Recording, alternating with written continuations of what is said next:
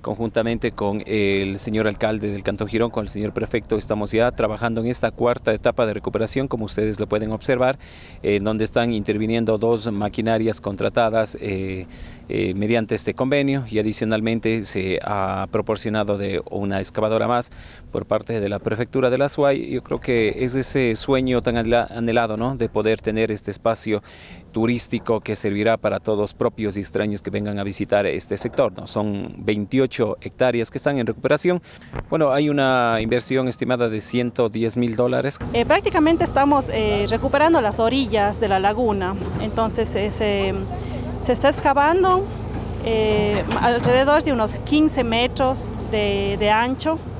Más o menos tenemos un kilómetro y medio de, la longitud que hemos venido excavando.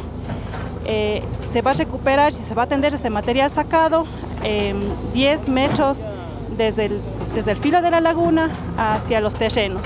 Esto con la intención de recuperar y que los colindantes no se metan a la laguna. Entonces esta es la intención del municipio ya tenerle fijo dónde es la laguna, las orillas de la laguna.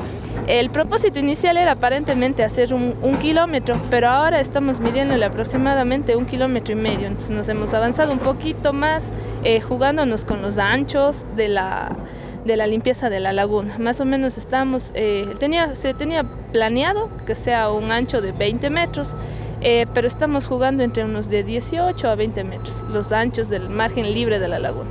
Estamos con un plazo de 45 días, casi estamos por culminar eh, nuestro, periodo aquí de, trabajo. Antes no podían entrar con bote, pero incluso el transporte de combustible para las maquinarias hemos hecho ya ingresando con el bote. El objetivo es tener ya el margen limpio de la laguna eh, para, para, que se pueda delimitar el área y asimismo tenían un proyecto turístico eh, para que ya se pueda recorrer eh, todo el contorno de la laguna. Yo quiero también agradecer y felicitar a todas las personas conlindantes de la laguna que han entendido este importante proyecto que tenemos acá en la laguna de San Martín.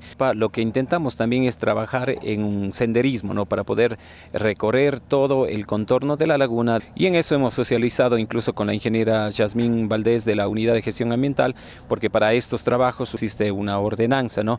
Y en donde existen retiros, ¿no? Lo mínimo de 10 metros hasta 40 metros que incluye este retiro también. Entonces hemos llegado, yo creo que acuerdos con todas las, las personas conlindantes a la laguna y como decíamos en cada socialización, lo que pasa que la laguna está recuperando el espacio que siempre fue suyo, ¿no? Una quinta etapa de darse, ¿en qué consistiría? Eh, en el centro podemos ver cómo algas han ido haciendo el rebrote, entonces se tiene contemplado eso de ahí, algunos trabajos adicionales, ¿no? también de limpieza y todo aquello de estos manejos de esta cuarta etapa.